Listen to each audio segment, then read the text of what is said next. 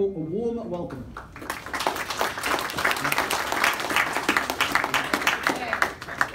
Thank you. So, uh, my name is Anna Gerber. For those of you who've seen me before, I usually talk about robots, so there'll be no robots tonight. I apologize. Uh, yeah, I do. I do actually have a job where I write code during the day. It's not robots uh, at Console Connect, which is an awesome place. Come and talk to us about it. Um, so tonight I'm actually talking about something that I did last year when I was working at a startup called Blexmancer. Uh, I was looking at using serverless Express. Uh, so pretty much uh, John has already talked about most of what I was going to say, so uh, I'm just going to you know, try to skip over the bits he's already covered. It might not go quite the length that it was meant to, but we'll see. Um, so what I'm going to talk about tonight is the AWS Serverless Express library. So uh, last year when I was uh, working for this startup and I had a little sort of Express API and I wanted to be able to use Lambda. Uh, so you've already seen what Lambda can do. You basically run these functions uh, on AWS. Of course there is a server involved, I have to say for all the ops people here. Um, we're not discounting the wonderful work that you do, but we don't, as developers, have to care about it. So from our point of view, it's serverless. Uh, so I found this library, this was in about September, it was pretty new at the time last year, and I used it to migrate an Express app to Lambda, so I'm just going to talk about that. Uh, so, before you start, if you want to use uh, this Serverless Express library, there are some things that you're going to need. Uh, first of all, you need an AWS account. And it's a good idea to have a user set up, an IAM user that's not you know, your root user, that's just got the permissions it needs to be able to administer the functions that you need. So AWS Lambda, API Gateway, CloudFormation. We're going to talk a little bit about DynamoDB, S3, and CloudWatch if you want to do logging. Uh, and the other thing that I discovered today is really important. You need to have a very up-to-date version of the AWS command line interface tools because if you have an ancient version like I had, nothing will work. Uh, fortunately, I discovered that at about 3 o'clock this afternoon, so everything's good. So, AWS Serverless Express. So this is a library from Amazon, and pretty much what you can do is uh, take your Express application, so you know, existing web application, and run it as AWS Lambda function uh, through the Amazon API Gateway. Uh, it's designed at the moment, from the name as you can tell, to use with Express, uh, but I think the idea is that it's sort of a generalizable approach that you could use with Hapi or whatever other uh, web application framework that you're using. Uh, so, if you want to get started, and this talk is fairly uh, low level, I'm just going to sort of step through the steps that you would need to, to get this up and running. Uh, you can pretty much check it out from Git, the AWS Serverless Express, and there is a sample app in the example directory there that uh, we're going to take a look at and extend. But uh, yeah, AWS Lambda, as you've heard, is pretty much a way to run functions on AWS without having to worry about the infrastructure that they run on. Uh, and these functions are triggered by events. So uh, typically with the sort of stuff we're doing with the uh, Serverless Express library, it'll be API gateway, so HTTP kind of uh, actions that are happening there. But it can also be triggered by things like uploading to S3 or uh, Amazon SNS notifications, which is the simple notification service. So that's things like pushing to mobile devices and that sort of thing. Uh, so pretty much you write these functions. At the moment, uh, it supports a number of different languages. It's not just Node. Uh, so I think there's Python and stuff like that as well. Uh, and one thing to be aware of though, if you are doing this, it is Node 4.3, I think. I don't think they have support anything bigger than that, uh, anything better than that right now. So, uh, these functions are sort of running on the AWS servers. And the magic that makes this work as a web application is the API gateway. So this is pretty much setting up your API to be able to uh, connect to that function via HTTP so you can set up something like a REST API. And one of the things that makes all this kind of magic happen, uh, which you would have heard John talking about, is CloudFormation. So uh, CloudFormation lets you specify and deploy and pretty much configure these serverless uh, applications. So it's a way of creating templates uh, that you can use to describe all of the resources that your app needs. So it might be the Lambda functions, it might be DynamoDB tables, uh, etc. Uh, one of the things that I found really useful when I was migrating, because I had been experimenting with Lambda a little bit, and I'd been doing things like uh, sending emails through the simple email service, and I had been using DynamoDB. Uh, in order to kind of get my configuration for the things that I'd created manually through the dashboards, I used, uh, I've discovered this tool called Cloud uh, Former, which lets you pretty much extract the configuration of the stuff you've already got. So uh, that's a useful tool to be able to use if you're kind of in the migration process. So pretty much you set up these templates that can be in JSON or YAML format, and that uh, lets you configure all these different resources so that you can deploy your application. So let's take a look at the example app that the AWS Serverless Express library provides. So uh, I'll just quickly go into my code editor.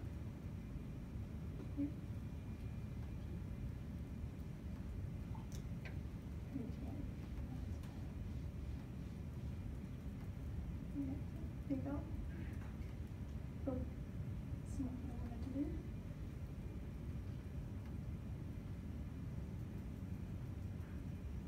All right, can everyone see that? Okay. All right, so uh, pretty much you've got your standard Express kind of app in app.js, and we'll go through that in a bit more detail in a minute. Uh, but the things that are different uh, that, that you get from the Serverless Express is you get, uh, first of all, a um, Lambda.js file, which is kind of the wrapper around your Express app. So this is uh, pretty much the magic that this library provides is that it proxies uh, the things that are coming from the API gateway through to your Express app and then, and then back. Uh, so that wrapper is pretty much going to be the same every time. Uh, you also get a package JSON file which has some really useful scripts for um, setting up and deploying and packaging up your uh, Lambda app and deploying it into Amazon. Uh, you also get uh, so a simple proxy API YAML, which is pretty much a swagger for your API, and a CloudFormation YAML, which uh, is you know all the different resources that you need in order to set this app up. Um, so those are the resources that, that you get. Go back to here. Yeah, so uh, pretty much what I did when I was migrating my Express app is that I copied a lot of the uh, resources from the sample app and used them as templates. So in particular, I found the uh, CloudFormation stuff was really useful because uh, the you know, big config file, you don't want to write that all by hand. Uh, and also um, just those scripts. I had been doing things pretty manually through the uh, Amazon dashboard, so I've been going in and using the actual inline Lambda editor for a while, and then I switched to uploading zip file to S3 manually. Uh, and then I experimented a little bit with Claudia.js, but uh, I found that these scripts just kind of replaced all of that and made my workflow much, much quicker. All right, so let's have a look. One of the other things that uh, is in that project that gets generated by one of those scripts is this SAM file, which is a YAML formatted file or JSON, but um, YAML is what it generates, which is a serverless application model file. Now, one of the things that it does, well, it defines pretty much your uh, API gateway, APIs, your Lambda functions, your DynamoDB tables, and things like environment variables for your application. It looks really, really similar to the CloudFormation uh, config. So as far as I can tell, the only difference is that this serverless application model has, in the case of this library, a little bit more detail, like the URL that your Lambda function is actually going to be deployed at. But other than that, the configuration looks almost identical, and it does get auto-generated for you, which saves you a lot of time. so the way that that works is uh, once you, say if you start with the demo application from Serverless Express, there's a configure script there where you pretty much just specify things like your account ID, uh, the region that you want to deploy this to. So when you're deploying these, uh, these CloudFormation stacks, uh, you pretty much, within a region, that CloudFormation stack name and that Lambda function name need to be unique within your account. Uh, so you can kind of, if you're developing, you can kind of have multiple copies to compare against and that sort of thing in the different regions. So you specify the region name, and the other thing you specify is the bucket name for S3, where your zip file that is going to be all of the resources for your application is going to get uploaded. Uh, and these are actually, uh, they have to be unique across all the regions, these bucket names. So pretty much what this uh, configuration script does is that it just goes and puts these, these particular values all throughout those generated files for you so you don't have to do it yourself. Then there's another script that is just a setup script that you run to actually uh, package and deploy. So uh, what that's doing is it's pretty much um, zipping up all of your resources that you've got.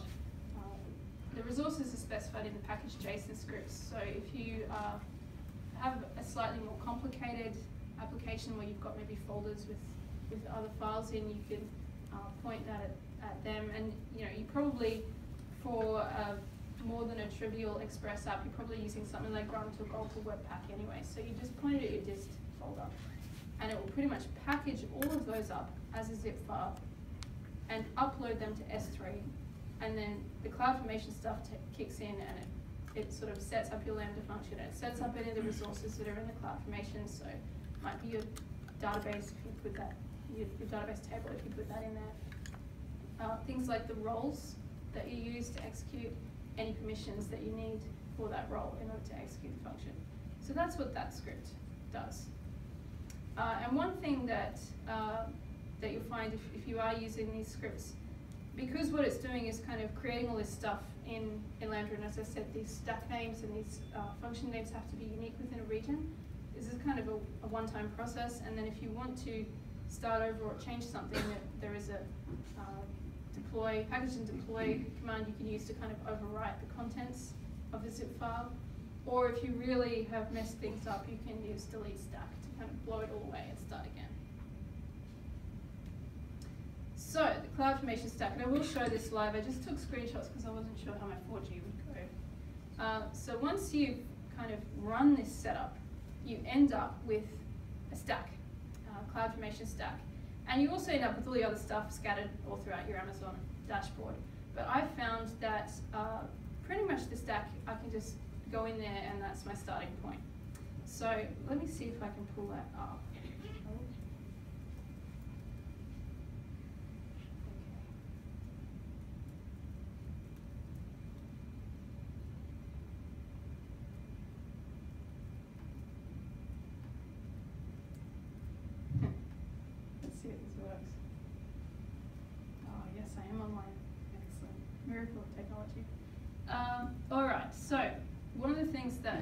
Is set up for you in that kind of template for CloudFormation that you get with AWS Serverless Express are these outputs, which are pretty much just the URLs that you care about. So the top one is your actual URL for your API. So in my case where I was using it for webhooks, that's the URL that I would go and paste into my uh, other uh, service that was using it as the endpoint. Uh, you've also got the URLs for other places in the dashboard that are to do with the Lambda function and the API gateway. But if we go and take a look at what's running, so this is pretty much the, the sample app uh, with a few modifications. So this is a really simple uh, API that just has a list of users with some CRUD operations to kind of edit them and, and delete them and, and, update them. So you can see, you can, you can read that very well, but yeah, you can sort of access the API and you'll get some data and you'll be able to use those endpoints. Uh, and that's all, all being created through this stack. And you can see all the stuff that it did, um, various things that happened sometimes when it didn't quite work and it had to roll back. Uh, so that's what you get from CloudFormation. Now, in the rest of your dashboard, uh, the things that it will also create, so there'll be API gateway uh, endpoints that it sets up as part of that CloudFormation.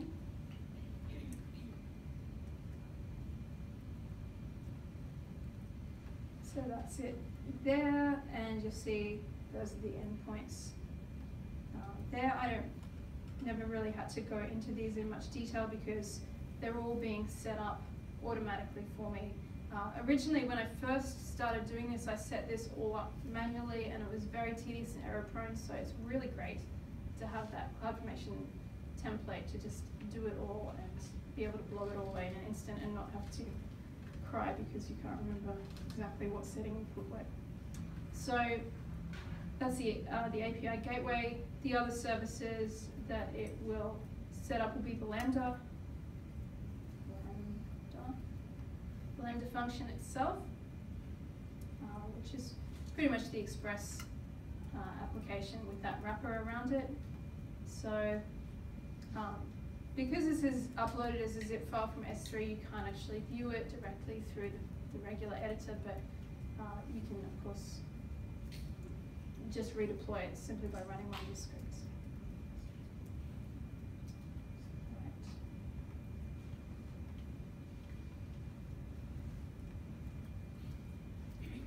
Okay.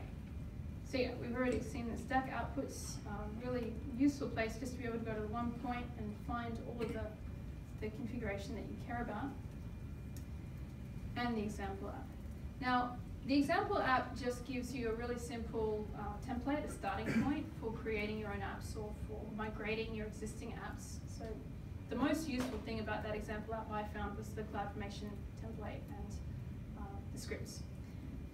But then I thought, well, uh, one of the things I was doing last year was using DynamoDB to persist. So uh, let's just take a look at how you might extend from that basic app to be able to persist the data to DynamoDB. Because one of the advantages of using um, using these uh, Lambda functions is that it is like auto scaling and that you can spin up more instances of the function as you need. And so you want a database that's also auto scaling and, and that sort of thing. So DynamoDB is a, a good choice there. Right, so very quickly, to persist this data to DynamoDB, uh, pretty much what we need to do is go in and modify that example app to uh, pretty much add the permissions for DynamoDB to the role that we're already creating from our CloudFormation, create the DynamoDB table that we need to store our users, and then modify those CRUD routes in our Express app to write to DynamoDB instead of using just an array memory, which is what the sample app uses. So, uh, the first thing that I did, and I did this manually because I didn't know that there was a serverless framework that might do it automatically, so now I do, which is awesome. Um, pretty much what you need to do is add a permission or policy so that the uh, role that's running these server, uh, these functions, these serverless functions, can actually access DynamoDB. And you could be a little bit more precise here. You could put things like read, write, you know, scan, whatever things you specifically need for your app uh, but I've just given it star because I was lazy, and you tell it what table uh, you want to do, and pretty much it extends this role. So this Lambda execution role is the role that's already in my CloudFormation template for my Lambda function. So you can also uh, specify other permissions in a similar way. So if your function, if you need to be able to send emails or any of that kind of stuff that is other AWS services, you put those permissions in here as well. And then you can also set up a table. So uh, this is also in your CloudFormation uh, config. So pretty much you specify the table that you want, the attributes that you care about. You don't have to put all of the attributes. You only have to put the keys really, and you can stuff extra attributes in there as long as you don't want to be able to search on them or, or do anything. So uh, I've just put user ID for my user table, for example. You could set up things like a secondary index if you want to be able to search on other fields to make that um, more efficient. And you've got things like the read capacity and the write capacity, which is uh, pretty much the, the throughput that you're going to build on when you do the queries on this table. So five is pretty much the minimum that most people ever go because this is a tiny example, but you can obviously go much more and it will cost you more. So one of the great things about uh, using DynamoDB here is that you only pay for what you need and you can scale it if you find that uh, what you've got isn't sufficient. All right, so having set up the permissions and the table, then what you'd do is you'd go in and you'd modify your routes in Express. And this is pretty standard Express stuff, except that you just need to use the AWS SDK. So you just npm install that uh, and require it in your Express app.js. And the thing that I'm using here is a document client. I was actually using an older library that's been uh, kind of superseded by this particular document client in the AWS SDK. Works pretty similarly.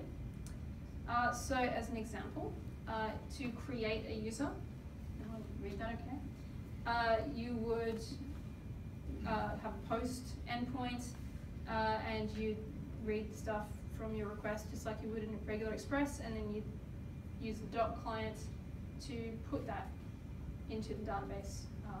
And so you're pretty much just writing the JSON directly into that DynamoDB table. Uh, similarly, there's a get for the doc client. Uh, so if you want to get the entire contents of the collection, you can scan. So if I wanted to list all of the users for my users endpoint, I just modify my route to use the scan.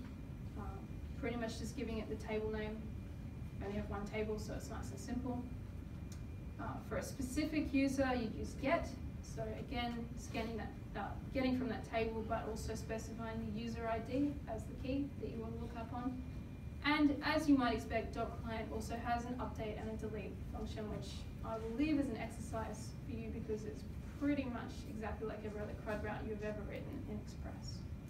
Uh, so yeah, pretty cool. So uh, once you've got your Express app, you can pretty much just develop it as you would for a regular Express app. Uh, there is a, a, script there to be able to run it locally, so you can stub out a lot of the AWS stuff and test it locally.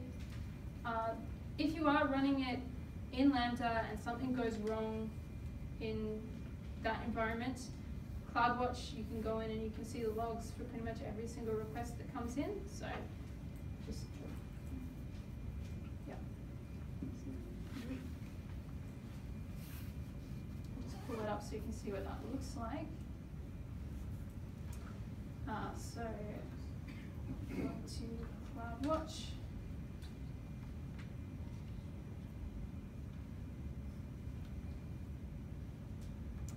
go in and look at the logs in this particular instance of the function and there you see some stuff.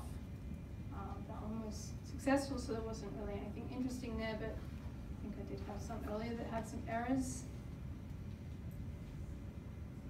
Maybe not that one. Yeah, you get the idea. You can use CloudWatch to go and get some detailed information.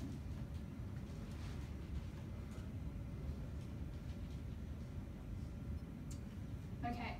Um, one thing to be careful of if you are migrating an existing app, as I said, or if you are developing a new app and you're adding new files or resources to your app, which you probably would because you wouldn't develop it all in a single file, uh, make sure you go in and change that package JSON to include those in the zip file that gets updated to S3. Uh, and as I said, you can repackage and redeploy the app anytime using the package deploy script. There also there's a package script and a deploy script, so you can do them sort of one at a time if you want. And uh, if you need to tear it down at any time, you can run delete stack to pretty much blow away everything that's um, been uploaded and start from fresh again. Then you can just go set up again and upload the whole thing again. So why would you want to do this? Well, I guess uh, you've got all those advantages of having a serverless um, setup. So you've got auto scaling, pay as you go, uh, if you have a really simple API and you don't want to be bothered with setting up a server or, managing a server, uh, it's a really great way to go. But there are a lot of disadvantages to running stuff this way. So one that I hit was cold starts. Uh, if it's not used very frequently, the first time that somebody comes to hit it again, it takes quite a while to spin up again the function. Uh, so I guess one way of getting around that is you kind of prime it before you actually need to use it, or just have something that hits it constantly to keep it alive. You don't pay for that, of course, because you're using it. Uh, but for something where it doesn't really matter, then it's it's fine. Uh, there's also you're, you're limited to Node 4.3, which you know I guess that's okay. Uh, there is a timeout of 30 seconds for the API gateways. So if you are doing something that's going to take longer than 30 seconds, I don't imagine you would be, but it is there.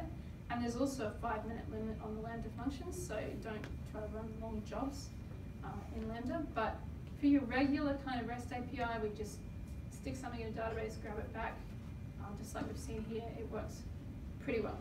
Um, you do have to pay for what you use, so if you do have uh, an app that has a lot of traffic, it could end up more expensive uh, because you're paying for it exactly all the traffic, uh, rather than actually having your own instance that you look after. Uh, and there are some other limitations, like uh, because you're in Lambda, using uh, native libraries can be a bit of a challenge uh, and that sort of thing. But overall, I found for what I wanted to do, which was to take a really simple Express API and run it in Lambda because I had some other stuff in Lambda already, wanted to smush them together, worked really well for that.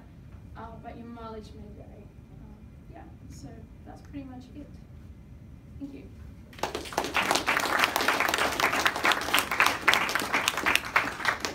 Okay, I'm sure everyone has questions for Anna. Yeah. Uh, you were saying about the benefits of using it. What about like scalability? does it scale up, or how does Yeah, it scale? yeah, that's, I mean, that's the whole point of, of running it. So I think you can just have multiple instances of your function and you can, you know, DynamoDB obviously scales. So yeah, that's how you do it. And I guess you use the other uh, Amazon services that are hooked into to scale into, you know, you'd add more stuff to your cloud formation pretty much to take care of Did you try it? Like, No, to see how no, because what I was doing was really simple. Um, and That's why you tried to. yeah, it does, and yeah, it, it gets looks quite cheap, and I, I'm staying to the free tier as much as I can, which is why my numbers are pretty small. Uh, when you start pushing it, it gets expensive quickly. Yeah. With the scalability, some of our functions, like, they get hit really hard, really burstily, and they're completely fine and we don't worry about it at all. Right. And in terms of the cost, we've got thousands and thousands of indications, in production it costs less than five dollars a month. Oh, So wow, that's really cool. I've never paid for Lambda for any of my side projects. Awesome. Yeah, it's cheap. Yeah. How do you debug it locally? I mean, Uh, yeah, so you can run it locally. Uh, so uh, one of the things I didn't show was uh, there is a sample uh, request there that you can have a look at, which is this one. This is what is sort of actually receiving the headers and content and everything like that. So you can kind of create a bunch of these and uh, invoke it locally with these as kind of test data, and then you can stub out the stuff that's but the Amazon DynamoDB specific. and everything is not in the local. No, that, that's right. So you'd need to um, pretty much have a mock version mock of up. DynamoDB. Yeah, mock, yeah. yeah. It's like testing, yeah. I think Yeah. ser- does, doesn't serverless have that? Like off serverless offline? There's a plugin that you can run stuff offline. There's also DynamoDB local jar by um, AWS, so you Cool. can run a local copy of DynamoDB, just start it on whatever port you want, and change the endpoint in the SDK so you can just use it all locally. Yeah. When I was testing stuff, I pretty much just used the JSON TDS mode Okay. because the stuff I was doing was really simple. But Okay. uh, yeah, that's how you do it. And you know, because it's Express, uh, I think there is some middleware where you can do things like store sessions and DynamoDB and all that kind of stuff as well, which is pretty cool. Yeah. Um, so your whole Express app is just one function. Yeah. yeah. Can you split that up so? Uh, yeah, you, you could, but I don't think this app, uh, I don't think this library supports that. Right. So you'd have to do that yourself. Yeah. So if you had a really chunky. Uh, Yeah, definitely. I mean, that's the whole point of Lambda is microservices, right? So you'd want to split that up yourself.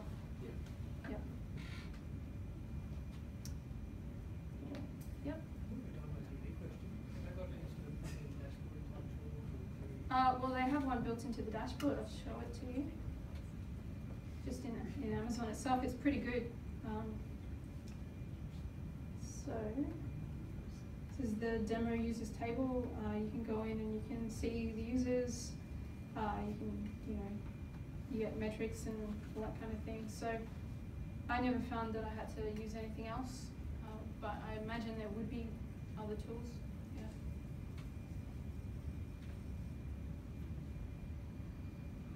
Great. Okay. thank you.